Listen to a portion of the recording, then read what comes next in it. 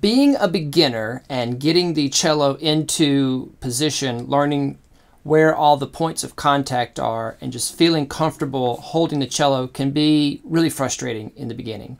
And it's really easy to think that you know it should it should just be quick, right? This is just like the, the visual, physical part of playing the cello, and should we should just be able to hold it and get it there, and then it's done, and we move on. But it's that is not the case, and I wish there was some one size uh, fits all or some magic wand I could wave and just instantly you would know how to hold the cello and be able to get it in position quickly. But it just takes time, it just takes practice. And I want to assure you that it does get better um, the more you practice it and just the more you get used to getting it in position. And something, some there it will, if there is anything magical, it's that over time you just get better at doing it. Okay. Uh, but I'm going to give you some uh, points here, some best practices to keep in mind so that you can get there a little easier and a little sooner. There is a visual quick reference guide to go with this video linked down in the description. So if you do want to follow along that way, you can go ahead and uh, get that and have that pulled up while you're watching the video. All right, so the number one thing that I always recommend to beginners, well, to all students who are learning, because I used this all the way through my undergraduate years in college, which is practicing in front of a mirror. You know, when I'm looking at the mirror, just like I'm looking at you right now, I'm sitting up straight. I can see everything that's over here. I can see what my bow hand is doing. When I turn to look like this, you see what happens to my shoulder. You see what happens to my posture. Everything gets destroyed, right? Because I'm looking, I'm trying to look at my fingers, I'm trying to look at where my bow is contacting, or I'm trying to look over this way or, or whatever. And as soon as I come back, because I'm a beginner and I don't know how to just find this position, it's all wrecked and it's all messed up. So, so that you don't have to look this way, okay, or look this way or twist around, having that mirror in front of you is so important, okay? And it doesn't have to be a fancy mirror. It can be, um, you know, it could be a skinny one. Of course, a full body mirror is always better. That was always my favorite to practice in front of but you just need something to see. It could even be a device like an iPad or a Chromebook. Um, phone screen's a little small, but I do have a video here on the channel all about practicing with a phone, and so you can use a phone, uh, and it will still help you if that's all you have access to, and you don't have access to a mirror where you are practicing. Okay, so use the mirror so that you can stay sitting up straight and see everything that you need to see.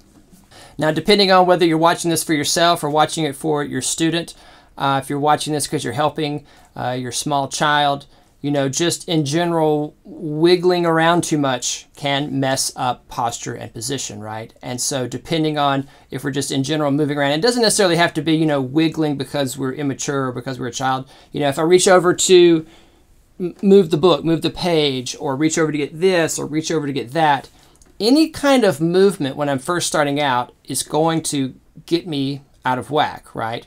And so what happens is we don't want to take the time to go through our checklist, you know, knee, knee, chest, you know, where is the instrument hitting me? Where is it supposed to be hitting me?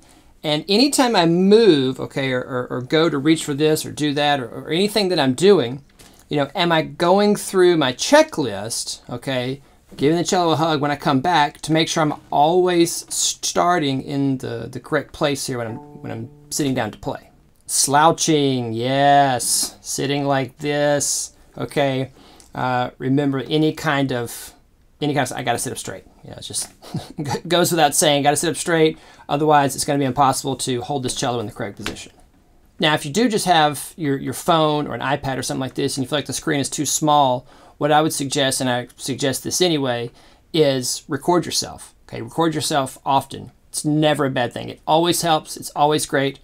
And you know, sometimes the, the phone screen is a little too small while we're playing, but if we record ourselves and just watch it back and we focus in on just observing ourselves playing, then we can see a lot of things that are happening with the posture. And plus, you can, you, know, you can move the phone around, record yourself from the side to see if you are slouching, uh, to see how this peg is hitting you. So, you know, record yourself, watch it back.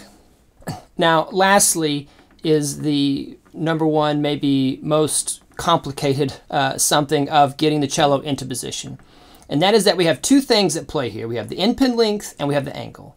And what can be frustrating, and I think why we just gradually get better at getting into position and knowing what this is supposed to feel like, is that we get better at knowing which one we need. Do we need to change the angle? Okay. uh, or do we need to change the end pin length? Okay, and I'm going to help you here uh, know which one to do. Okay, so all right, so if I'm having a really difficult time getting this cello in position, for example, it's just way too high, right? It just seems like no matter what I do, whether I angle it this way or angle it this way, okay, that this cello is way above my knees, okay, and I'm not able to get it in the right position. It just always feels like it's too high.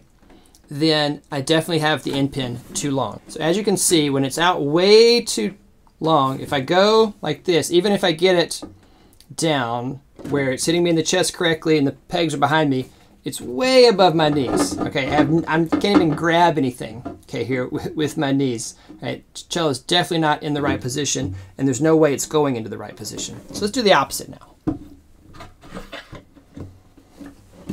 If it's too short, okay, then either my peg or maybe I'm getting uh, the instrument in the right position, right? I got no end pin on the floor, all right? But, main, but if it's too short, my knees are probably going to be in the bouts no matter what, okay?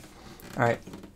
So if I go up like this, well, then the peg's hitting me, right? And my knees, as you can see, are still here in the bouts, okay, because the end pin is too short. And I'm showing you the extreme ends here uh, of what can happen. But no matter what, as you can see, okay, my knees are here. My knees should be, let me show you that there. My knees should be here, right? Hugging this part of the instrument here, right? Should be here, not way down here like this. And so this is what I would tell you. Always start with the ankle, okay? Get this cello in position with it hitting, you know, your solar plexus here, your sternum, right? Getting the cello in the right place on your chest making sure that the pegs are behind your neck, okay? And then seeing where the end pin needs to go. Um, you know, and if you've got two hands here, or four hands, I mean, two people, you could actually hold the cello like this and just let the end pin out and see where it goes. Um, and then mark it from there. It might be a good way to do it, okay? Um, but make sure you start here with the angle first so that you can then see where the cello is supposed to be and let the end pin out from there and adjust accordingly. So you should be able to, you know, you, you know that you have the right angle and the right end pin length when you have all of these three points of contact correct with my knees here hugging the right part of the cello, okay? Pegs behind me, right? I'm able to get to everything easily, excuse me there. All right, and uh, then I know I'm in the right position, okay? So I hope that helps. Uh, leave me a comment down below uh, if you have any more questions about this. I'm also going to link up if you need the full tutorial um, walkthrough of cello size and position. have a video all about that on the channel and you can watch it right here.